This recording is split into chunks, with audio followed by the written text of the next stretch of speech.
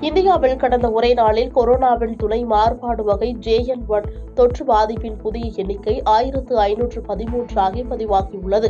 India JN one வகை corona தொற்று genomics கூட்டமைப்பின் அறிவிப்பின்படி மகாராஷ்டிரா கர்நாடகா ஆகிய மாநிலங்கள் உட்பட தொற்று பாதிப்பின் புதிய எண்ணிக்கை ஆயிரத்து ஐநூற்று பதிமூன்றாக உள்ளது. இதில் அதிகபட்சமாக மகாராஷ்டிராவில் முன்னூற்றி எண்பத்தி இரண்டு பேரும் இதில் அதிகபட்சமாக மகாராஷ்டிராவில் முன்னூற்று எண்பத்தி இரண்டு பேரும் கர்நாடகாவில் இருநூற்று நாற்பத்தி ஒன்பது பேரும் ஜேஎன் ஒன் வகை தொற்றால் பாதிக்கப்பட்டுள்ளனர் கொரோனா தொற்று பாதிப்பின் எண்ணிக்கை அதிகரித்து வருவதால் விழிப்புடன் இருக்குமாறு மாநிலங்கள் மற்றும் யூனியன் பிரதேசங்களுக்கு மத்திய அமைச்சகம் எச்சரிக்கை விடுத்துள்ளது.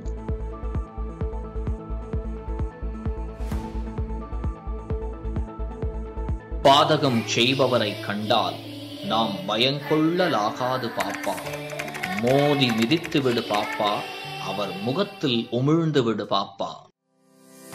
அண்மை செய்திகளை உடனுக்குடன் தெரிந்து கொள்ள இணைந்திருங்கள் இயம்நாடு தொலைக்காட்சியுடன்.